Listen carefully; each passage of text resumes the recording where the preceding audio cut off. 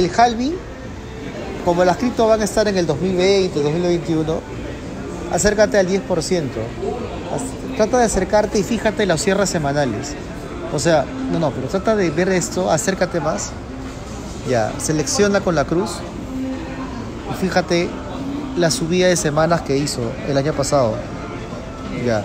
¿Cuánto más o menos subió? ¿De 0.22? 0.36. Ya. Mierda. El mercado En venía. una semana. El, el mercado venía. ¿Eso qué fecha fue? Ese es el 16 del 12, Ya. ¿no? El año pasado las criptos estaban yendo al infierno, todo Sí, estaba cayendo. sí. En una bifurcación de Bitcoin Cash. Ninguna desapareció. Entonces, si tú tenías una operación y cerrabas, prácticamente perdías dinero. Pero no, no desaparecía. Claro.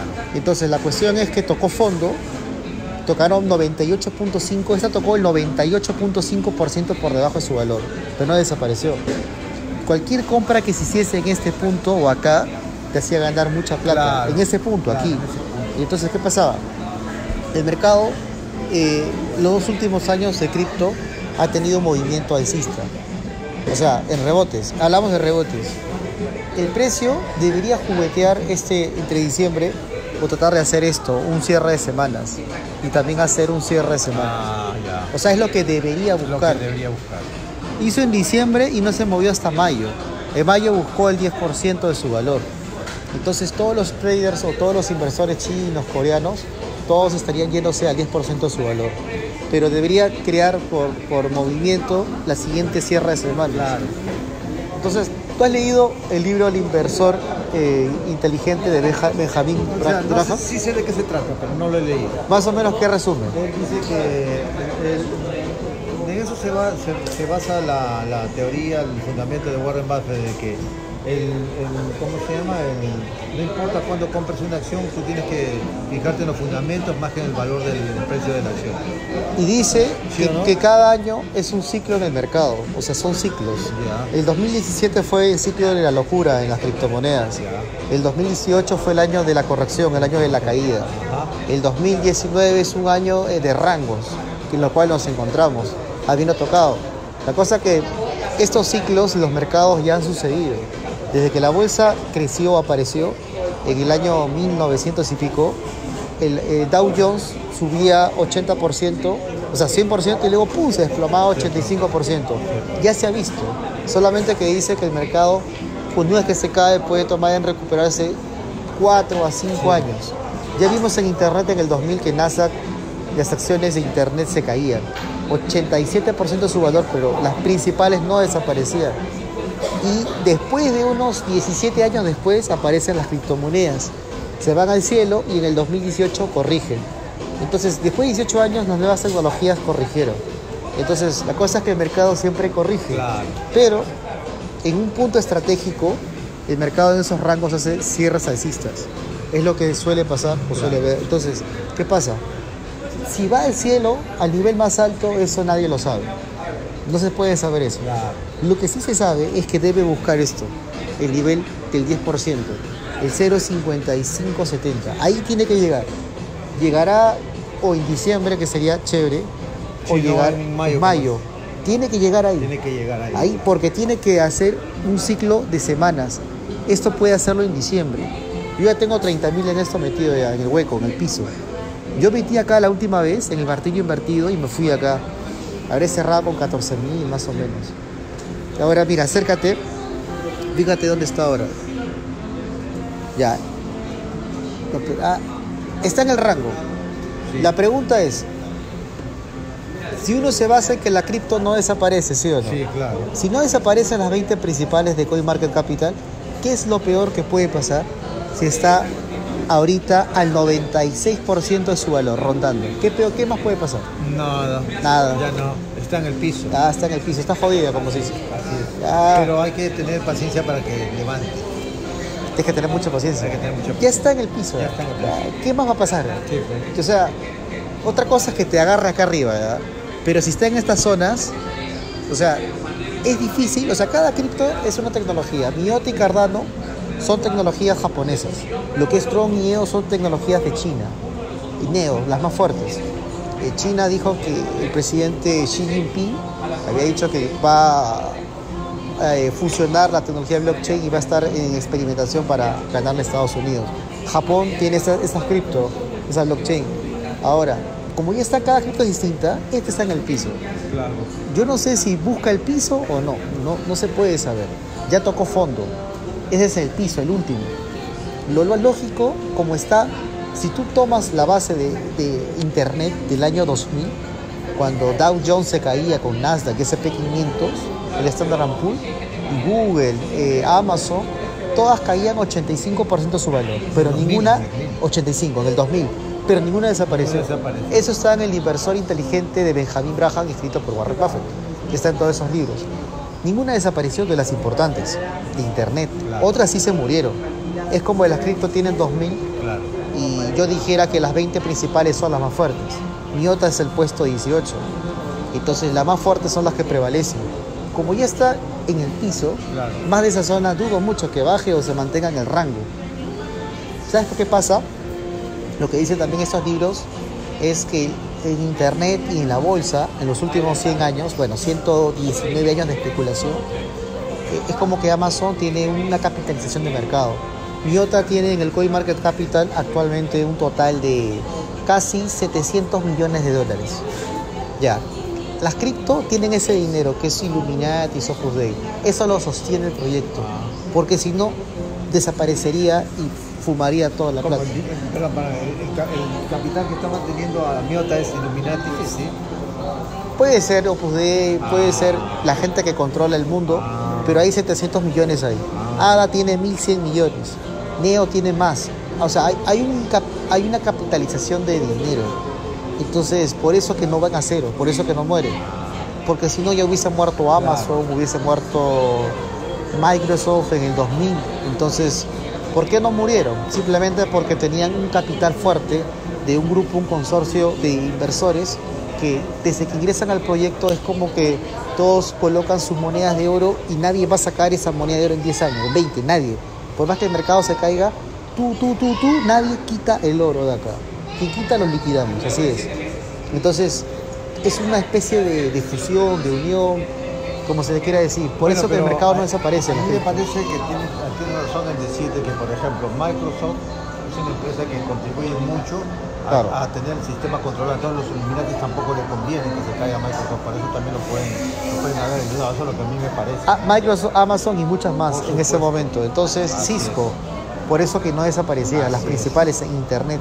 En cripto es lo mismo, en Coin Market Capital. Por eso que no va a cero. Si tú tomas esa variable que no va a cero, entonces, si lo tienes claro es porque está en los libros.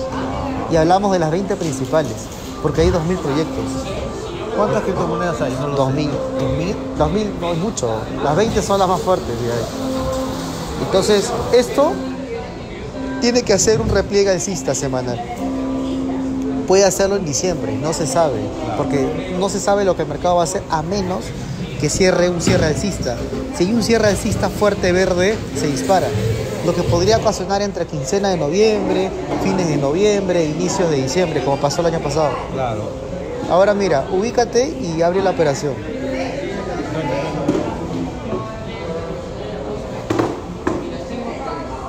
No, acá. Ingresa. Ponle invertir. Te voy a explicar. Cuando tú compras, eh, acá se trabaja lo que son sobre CFDs. O sea, cuanto más barata esté, más rentabilidad tiene. En estas jugadas, cuando el mercado está caído, es donde hay más rentabilidad. Una vez que esto se dispara, va a cambiar todo. Mira, fíjate, ponle 250 dólares, por ejemplo, en importe. Borra los 5 mil y le pones ya. Y te vas, no, no, así déjalo. Te ponen take profit y te vas a take. Ya mira, chécalo. Pon la tasa, el objetivo de 0.5650, el 10% de su valor. Pero ponle con puntos, 0.56. Ya haz un clic afuera, afuera. Haz un clic afuera, como acá adentro. Ahí. Mira, ahorita tiene 110% de rentabilidad. Claro. O sea, 250 dólares bota 276. Pero ojo, Si subiera esta cantidad, ¿cierto? ahora te explico una cosa. No es que esa rentabilidad quede. La cuestión es que si la cripto bajara el soporte, habría hasta 130, 140 de rentabilidad a este objetivo, que es el 10% de su valor, que llegó este año. Casi todas las criptos como Cardano y Neo buscaron el 10%. Ethereum, EOS se fueron al 14%. Binance, la moneda de CH, eh, que es el dueño, el CEO de, de Binance, que es el exchange, esa cripto sí recobró todo su valor. Pero casi todas han ido al 10%. Si esto sube, o sube un poco en días, ya no va a haber 110, va a haber 100. Si sube un poquitín más, va a haber 90. Sube más, hay 80. Claro. Cada vez que sube se reduce. Cuando la apuesta está en el piso, la rentabilidad es altísima. Y es ahí donde tienes que meterle y dejarla. Si la jugada, mira, si tú comprabas en el piso en agosto, porque tocó el fondo, tendrías ahorita 140. Había ese margen hasta el nivel Ah, más alto. Entonces, mientras más esté más en el piso, la oferta y la demanda crece, pero por términos de rentabilidad. La rentabilidad. Así, claro. la jugada siempre es esa, cogerla en el punto que nadie la quiere. Y ahí pones a ejecutar operación. Mira, una vez que se digitó, te vas a portafolio.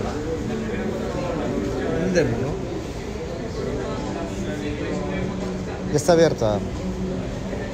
Ya, la operación ha estado digitada y haces clic en mi otra. A- a- a- ingresa a la operación. Ya, mira. Este es un sobre un CFD y tiene niveles de unidades. De acá se puede, se puede pasar al exchange de Toro. Se pasa al exchange y una vez que está el exchange ya es dinero virtual. Una cosa, mientras esté acá, esto es dinero. Cuando se pasa al exchange, chao dinero. Se convierte en moneda virtual. O sea, mientras esté transándose, hay dinero, hay unidades y hay rentabilidad. Si tú pasas al exchange esto, ya no hay rentabilidad, desaparece. Lo que vas a tener son las unidades que son 932.14. ¿Me dejo entender o no? Mientras estés transando, tú decides, ¿ok? Ahorita son dólares. Si tú cierras, pierdes 10 dólares. Si está, sube, ganas los 200 y pico. Pero si uno pasa al exchange, se va la rentabilidad, queda las unidades. Si tú das cerrar acá, la cosa se cierra. O sea, te lleva a cerrar, por ejemplo, y te dice cerrar, cerrar la operación, cierras todo. O puedes cerrar parte de ella y pones un porcentaje. Por eso aquí ni lo toques. Y la operación no tiene stop loss. Para perder desde esa zona tendrá que ir a cero, desaparecer, morir, lo cual es improbable. Mejor no le pongo stop loss. No tiene stop loss, no, no se usa stop. O sea, como es una cripto real, se queda sin nada. Ahora mira, checa o te vas a Cardano. Pones ADA. Haces clic ahí, ya. Y te vas. La gente ahí comienza a hablar para que te das cuenta. Están hablando y todo eso. Ya, y vas a gráfica.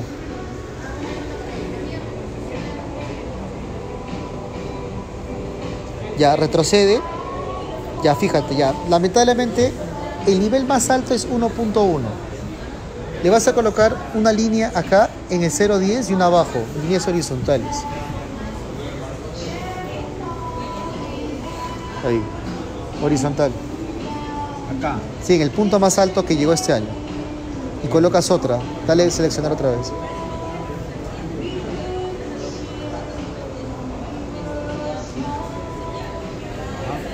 Ya, el 0.10 es el 10% de su valor. El punto más alto. Eso tiene que regresar al 0.10 a la buena o la mala. A la mala, a la mala. A la buena, a la buena. Pero ahí tiene que llegar. ¿Por qué tiene que llegar? Porque los mercados por, son ciclos cada año. Es igualito. Chocó, tocó fondo y se cayó el 98.5%. Cuando todo el mundo por miedo, por pánico liquidaba operaciones, Claro. es lógico, el pánico es una emoción que se apodera del ser humano, pero no desapareció. En marzo pegó una subida en la actualización de Cardano, que el CEO es Hopkins, entonces se marcó y llegó al 10%, y otra vez, ¡pum!, se cayó cuando Libra, Calibra, la moneda de Facebook, fue dicha que los reguladores van a estar, o sea, le pusieron trabas. Como le pusieron trabas, el mercado cripto se cayó de vuelta. Y ahora juguetea en el piso. Entonces, como son ciclos de mercado, solamente hay dos fechas en esto. Podría bombear en diciembre un cierre semanal. O si no, se va hasta mayo, hasta el Halloween. Una pregunta, todavía no entiendo, ¿por qué tan siempre hablas de la, de la fecha de mayo? ¿Qué es de especial tiene esa fecha? Lo que pasa es que las cripto en su poca historia, o el Bitcoin, eh, siempre suben en mayo. Los últimos 10 años, bueno, 11, Bitcoin subía, de 10 años se subió 8 en mayo. En el 17, la locura cripto, a- Ethereum de 16 se fue a 400. Hasta el 5 de junio, fue en mayo. En el 18, en el mercado bajista, todo mes de abril empezaba a subir porque Soros y Rockefeller dijeron que iban a invertir en cripto. Sí. Y luego el mercado subió y ¡pum! se cayó, BCH se bifurcó y todo se cayó el año pasado. Y este año otra vez volvió a crecer, llegó al pico hasta junio. Siempre son esas fechas. Entonces Cardano subió en marzo por su actualización. Pero casi, si buscamos fechas exactas por ciclos de mercado, deberíamos buscar los niveles más altos. Ah, si no es diciembre, se va hasta marzo, abril, mayo. Porque siempre en esas fechas se da. Más o menos ese es el ciclo. Son se 12 mueve. meses. Desde que subió cuenta 12 meses. Ya. Puede ser en diciembre, nadie lo sabe. Claro. Pero sería genial. Si no se va hasta mediados de mayo, hasta esas, esas opciones. Como dice Warren, dice, si no tienes paciencia en invertir en la bolsa Sí. 10 años, mejor no inviertas. Mejor no inviertas. Mejor no inviertas. Bueno, esta no es bolsa, pero son empresas. Cardano, Miota, BCH, Tron tienen CEOs. Es como si fuese Facebook CEO, pero CEO de criptos. De criptos, claro. Entonces, ahora, mira, checa, el ciclo de mercado es lo mismo, tiene que golpear. Yo creo una cosa, acabando el año debería tener un cierre de semanas fuerte, algo así como el año pasado. Yo creo que esto tiene que hacer, algo de esto. Cuando tocó fondo, si tú comprabas acá, nunca llegó, bueno, no llegó, golpeó, retrocedió y nunca buscó ese nivel. Ahora, muchos dicen, llega abajo, no lo sé. La única razón de comprarla es que Cardano está al 96% por debajo de su valor ahorita. Está. Para que desaparezca, ¿qué tiene que pasar?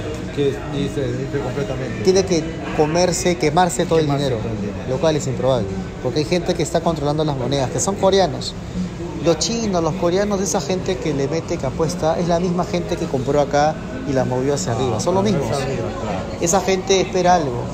Entonces, normalmente lo lógico es esperar el miedo de la gente, por miedo que muchos cierren. Sueltan y compran. Y los demás, pum, cuando sueltan le meten el bombeo y se van. Y después el que cierra se lamenta llorando porque cerré. Por acá no se ve, no hay un gráfico de volumen de. de- Sí hay, se puede colocar. Ya. Pero en las es ondas, ¿ah? mira, en los MT4, las plataformas de trading, Elliot, GAN, ya están en puntos de armónicos. En uno de esos debería golpear en semanas. Neo lo hizo. Neo, la criptomoneda de China, por lo que Xi Jinping estaba hablando. ¿Cuáles son chinas? Neo, ¿cuál Neo? Tron, EOS. La más fuerte es EOS. Luego sigue Tron. Neo está, está fuerte, ha estado fuerte ahorita. Pero mira, ubícalo al 0.10, eh, invirtiendo. Está. Sí. Si tú tienes paciencia en esto, Sí, ganas, te buscas el objetivo. Lo que pasa es que muchos, los, los que son más jóvenes, No, yo, eh, yo ya tengo experiencia. es muy difícil que tengan paciencia porque todos lo quieren rápido. No, yo no. Pero los que son de la vieja escuela tienen más paciencia. Ya sabe. O sea, yo ya me caí varias veces. ¿Cómo te has caído? Este, perdí en la del 2008, en la crisis de 2008. ¿Qué pasó en el perdí. 2008? Cuéntanos. Estaba, yo había invertido en todas las mineras, había empezado a invertir. Te están oyendo algunos, saludos. ¿eh? Hola. Cuéntanos tu experiencia en el 2008, Bertino. Mira, yo había la invertido en las mineras porque en ese momento se movían. La, la, ¿cómo se llama? Acción estrella era Milpo, que ya, Ya. no existe. Milpo. Milpo ya no existe. suena. Ya, esa, esa, esa es estrella y, y también Volcán. Eh, Volcán. Yo lo había agarrado, este, lo había agarrado en, ya en una buena subida, pero en el 2008 este, de golpe vino la... la Bajonazo, la crisis. La primera, la primera información vino, dijeron que habían cerrado el banco Goldman Sachs. Después fue, por decir, este, el, motivo era por las este, cosas créditos subprime. Bueno, se vino en cascada todo el año. Tuve, perdí más o menos de lo que había invertido, que eran 7 mil soles, perdí más o menos la mitad, la mitad me fui. Estaba, tenía una reticencia para querer recuperarme. No se recuperó nunca, pero yo no sabía que estaba en plena, en plena bajada de la ola. Así que en la mitad de mi capital había perdido 3.500 soles y me fue. Tuve que saber, entender lo que estaba ya en la bajada. hasta que en 2009 más o menos empezó a subir, este, ¿cómo se llama? La bolsa, las acciones. acciones. Atacocha, en- cuando llegó a piso a 0.9, 0.9 sol, nunca había invertido, en dos meses triplicó, porque ese fue el rebote del 2009. ¿Eso que enseña? Que tarde o temprano Así hay un bendito rebote. Así Es lo que siempre pasa. Así es. En todos los mercados pasa lo mismo. Así es. Lo que pasa es que ese tipo de, activos son ciclos. En un punto, como hace tiempo decíamos, cuando estaba cayendo, tiene que volver a hacer cierres de su vida. Se cayó. Tiene que volver a hacer esto, pero no lo va a hacer en dos meses. El ciclo es empieza de seis meses y se va a 12. Ese es el ciclo. Mira, cháncale y ponle cero a invertir en 0.10 ahí. Igual, eh, acá y le das ahí. ¿Acá? Sí, haz invertir. 250 dólares. Y das a take profit.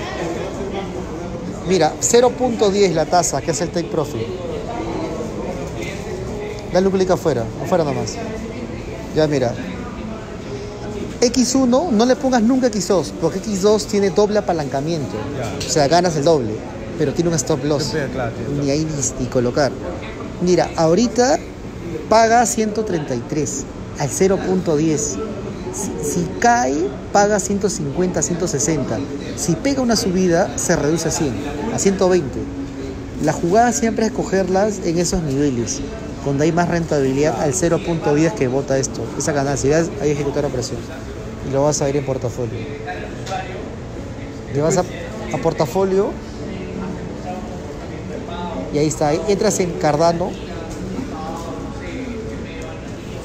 Acá, a ver, dale. Ya, y ahí está la operación abierta, las unidades, el stop. Si tú sabes X, ya sabes que ahí se borra. Claro, claro. Ya, mira. Luego va la otra. Mira, ponle Neo. La, la cripto de China. Que se ha movido fuerte. Y te vas a gráfica. Ah, está interesante esta clase. ¿eh? Me gusta.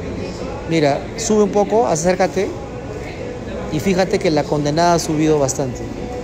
Sí. se ha movido y, y ne- mira, ni, ni Tron ni EOS han hecho esto, siendo que EOS es la primera criptomoneda de China y destrona al Bitcoin.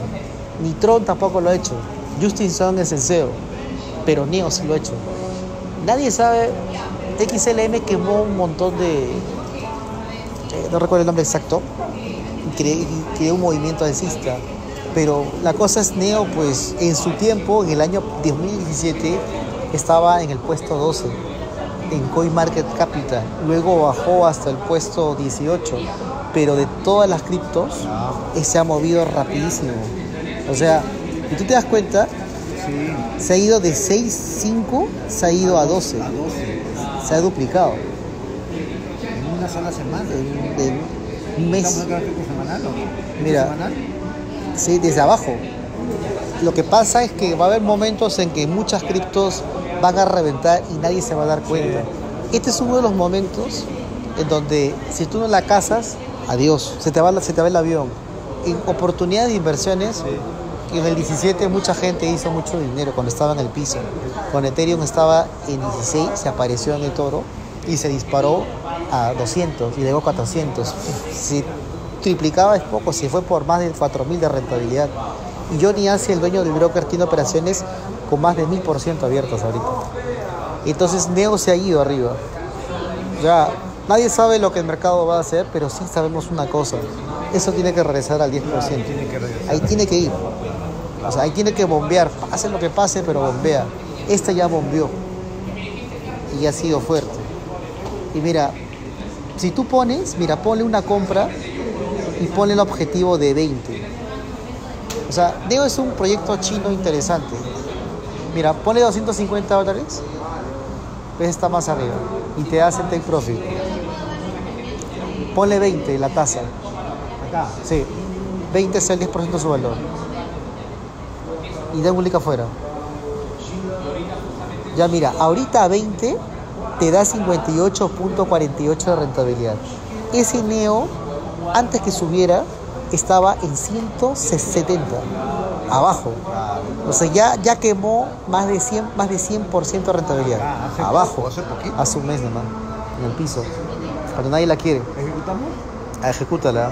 Ha bajado la rentabilidad. Es un proyecto fuerte. Y te vas a portafolio y la vas a ver ahí. Ya, van tres.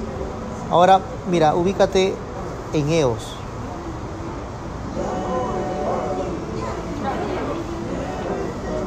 Te vas a gráfica. Es importante que también entres acá y pon Coin Market Capital. Así como suena, Coin. O ponle en el buscador y ya aparece al toque. Eh, ahí está, ingresa ahí. Ahí está. No, no, capitalización de mercado de criptomonedas, ahí ingresas. Y ahí está. El amo y señor es Bitcoin ahorita, que domina, el- sube, sube, sube. Tienes que subir. Domina el mercado a 65.9. El mercado tiene 236 mil millones ahorita. Llegó a 840 mil millones en la super subida del 17. No llegó al billón. Se espera que el mercado en el 2020, en la nueva década, llegue pase tranquilamente en el 2020 el billón de dólares. Que el mercado, Billón, el billón. billón que llegue y lo pase. Y eso tarde o temprano va a pasar, Sí. porque es una tecnología nueva. Así es. Las nuevas siempre empiezan, suben y bajan, y la oportunidad, así como Netflix, se va a quien no la aprovecha. O sea, el que tiene oídos por oír, oiga. Pero fíjate, las cinco, cuatro primeras, Laico, y acá se ve la capitalización de mercado. Pues Tether, Binance Coin, EOS, Bitcoin CB, la bifurcación de BCH Estelar, Tron, Monero, Cardano, Ionus, Neo, Tesos, Cosmos, IOTA 20 y Dash. ¿Iota o miota? Las 12 ya, bro. Ya mira, chécate, te vas a la gráfica ahora. Ellos están en el puesto 5. Acá gráfica. No, no, así, a, a- la plataforma. Gráfica. Ya mira, regresa, EOS llegó a veintitantos. EOS la cripto más fuerte de China, 23. En 2018. ¿sí? El, el 10% sería 2.3. Claro. No, el 10% 2.3. claro. 2.3, 4.6 es el 20. Ahorita está en ¿A, 2.27. a dónde llegó arriba? No, no, en marzo. 7. No, el punto más alto es 8.53. Ya, 2.3 por, por, 3, por 3. Recuperó el 32% de su valor. En promedio. Claro. Acá. Sí, el pico más alto. Mira, acércate más con EOS. Ya, fíjate. EOS tuvo un movimiento muy fuerte en diciembre. Desde el pico subió, no volvió a buscar el pico y de ahí empezó la escalada. Entonces, todas han bajado. Cuando Libra fue suspendida por los reguladores.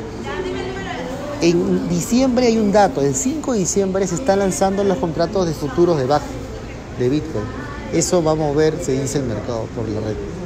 Entonces, mira, EOS es la cripto más fuerte de China, junto con Tron. Y Biot y Cardano son las más fuertes de Japón. La contraparte, el peso. Japoneses y chinos. Ponle igual, mira, ponle invertir. Y ponle 250 ahí. Y ponle take profit 8.5. Ya, ponle afuera el clic. Ya, tiene 100 148. Está bien, ¿no? Ya. Está bueno. Y, y EOS es fuerte. Ejecutar. La idea es tenerlas en este rango. Ahí. Mira, yo siempre hago esto. Me caen 100 dólares y le meto a la cripto. Me caen 200 Sí. dólares, vendo basura y le meto a la cripto, sí, lo que sea. Yo Porque es un activo, porque en Forex es lo que pasa. Yo puedo operar, o sea, gano 100 dólares, gano 200, pierdo 200. No puedes acumular petróleo. O sea, no puedes generar un activo porque el petróleo va a subir, va a bajar y va a hacer miles de cosas. Y te va a hacer va a hacer ganar plata. No se puede acumular activos Sí, en petróleo claro. o en índices, no se puede. En criptos no, en criptos esto está empezando. Está empezando. O sea, acá estás acumulando un activo digital. Lo que era como acumular. Yo siempre quería tener Netflix hace 10 años. Le dije, pucha, porque no le metí, no tenía plata para empezar. O sea, tenía, pero estaba con las justas. Entonces dije, si hubiese metido mil dólares a Netflix y lo hubiésemos dejado, ¿qué hubiera pasado? Me ponía a preguntar. 500% renta, 600%. Es un montón. Es un montón. Entonces es un montón de plata, son casi 6 mil dólares bueno, subiendo. Pero entonces las tecnologías crecientes tuvieron una subida fuerte, Nvidia, Netflix y todas las que aparecieron. Las cripto es lo mismo. El 18 ya acabó, es el Claro. 19 que ya va a acabar y sigue el 2020, otro año. Como todo año el mercado, luego de caer, luego del invierno, viene el verano. Mira, he leído un artículo que dice que a partir del 2025 prácticamente la gente va a comprar el 20% de las cosas con, con criptomonedas. Ya se ve en la actualidad. Hasta hay un, ah, no creas, en Los Olivos hay un taxi que pagas con Bitcoin. Ah, alucina. Mi amigo me pasó el dato. Pagas con Bitcoin. Increíble. Y vas, hay varios lugares acá en Lima que tú vas a pagar con cripto. Se puede pagar ahorita. ¿Así? Sí. No sabía. Yo sabía hay que en. Colombia sí. Aquí ya, ya hay bastante. En la Richie, al frente de un restaurante, eh, es una especie de tambo, pero tambo para pagar con criptomonedas. Mira, yo te quiero decir algo que es algo que solamente es el sentido común. El dólar de alguna forma va a tener que desaparecer porque es una manera que no tiene, ya se sabe que no tiene respaldo y lo peor de todo es que ya va a, perder completamente su credibilidad. El futuro son las criptomonedas, ¿por qué? Porque no va a haber, eh, eh, la, la- la diferencia entre las criptomonedas y el dólar es lo siguiente, lo emite un país y lo emite una sola entidad, que es la Reserva Federal, que lo regula como le da la gana, lo sube o lo baja. En cambio las criptos es un, mona- un- un- ¿cómo se llama? Es un mercado abierto en que los pares, realmente el mercado libre, no hay nadie que lo controle, va, va digamos, este, fluctuar el precio libremente en el mercado. No va a haber nadie que realmente lo manipule. Por eso es que yo creo criptomonedas van a ser las monedas del futuro no muy cercano, en 2025, 2025, 2026, el 50% ya se va a estar comprando. El 2020, Sí, a mil y Bayo igual va a llegar. así para es. todos. Así es. Y el mercado no puede estar en el rango rondando. O sea, 20 llega a la buena o la mala para todos. Pero como son ciclos, así como el petróleo, el año pasado se desplomaba en noviembre. Así es. En, inicios de año empezaba a subir. Así es. Entonces hay ciclos. Mira, ahora colócate en Tron, TRX.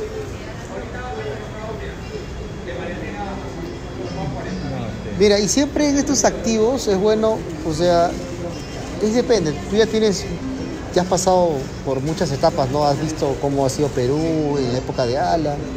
Sabes que hoy en día uno puede tener un capital y en lugar de gastarlo en una, en una, en una vanagloria, gastarlo en un lujo, los sei- 600 dólares, ¿no sería mejor tenerlo en un activo? Por supuesto, O sea, por supuesto que sí. Tú que eres hombre experimentado en esto. Por supuesto que sí.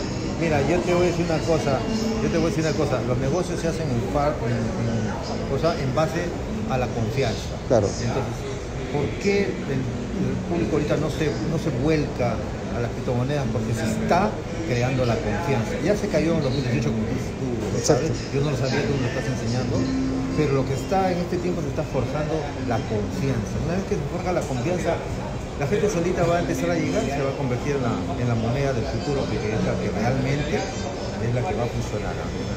Lo que pasa que Y Lo que está muchos, perdiendo es el dólar, es la confianza. lo que pasa que muchos se suben al tren cuando sube. Así es. Cuando eh, el mercado empieza a subir, todo el mundo se quiere meter. La idea es tenerlas en el piso, porque ahí no valen nada. Así es. Mira, TRX ingresa a la plataforma. ¿Cómo entro que carga, ahí está, ingresa Strong. Ver otra vez, ¿eh? Ahí está. Gráfica. Tron también tuvo un salto del piso. Este es el piso verdadero, este de acá. El nivel más. Ese no es, es un error de, la pantalla. Este es el piso de Tron. 0.0.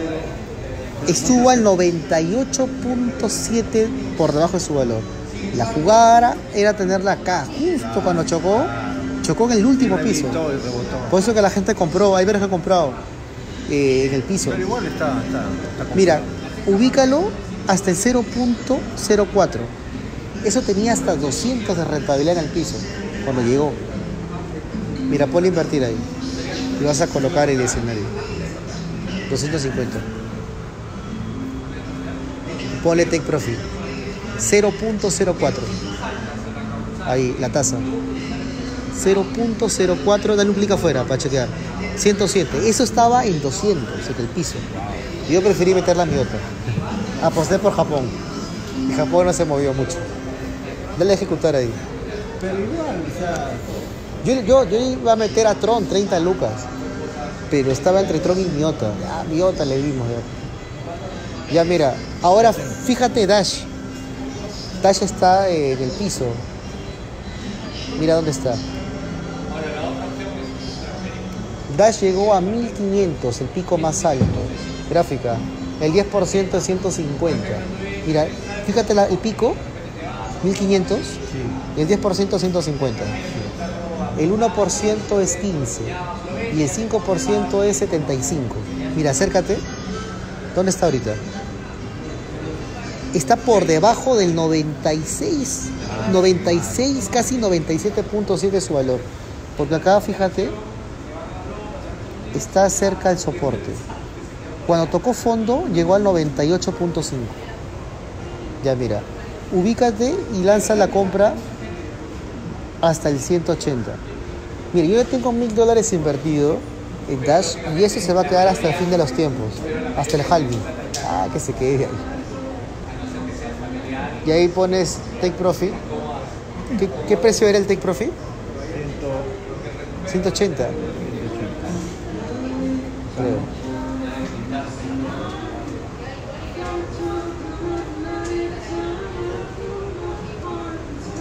Eso tiene 160, ya. Tiene 160 ahorita. Dale a ejecutar, mira. 180, ¿no? Sí, está bien. Ya, mira, pole. 180. ¿Cuál es la diferencia? Bueno, hay que ver cada proyecto de cripto, pero Dash está en el piso. Está en el último, cerca del último soporte. 56 Mira, yo tengo, tengo también amigos de- que tienen dinero. Mil veces prefieren gastarse 500 dólares en el hotel de lujo, Sí. con la noche con su mujer, su novia, en cualquier tontería que meterle algo que está en el piso. O sea, Es que no tienen idea. Es que lo que pasa es que tú sabes, en Perú no hay cultura financiera, no hay cultura de inversión, hay cultura de gastar. ¿no? La sociedad te enseña a gastar, gastar, despilfarrar.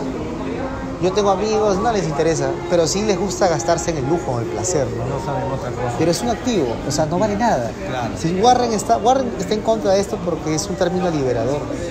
Pero en el fondo, ¿Es un qué? lo que pasa es que esto va en contra de su, de su banca, Hathaway creo que es. A él no le conviene que la gente se meta porque también pierde, pierde clientela. Claro, pierde Pero él de seguro por lo bajo está invirtiendo, Ah, claro. sin decirle a nadie. Estoy seguro que Porque él, él hace eso, él compra acciones muertas y él se espera 10 años. sí. Y lo, y lo sabes qué? Los, los, los bancos formales, Goldman Sachs, ya están sacando sus criptomonedas.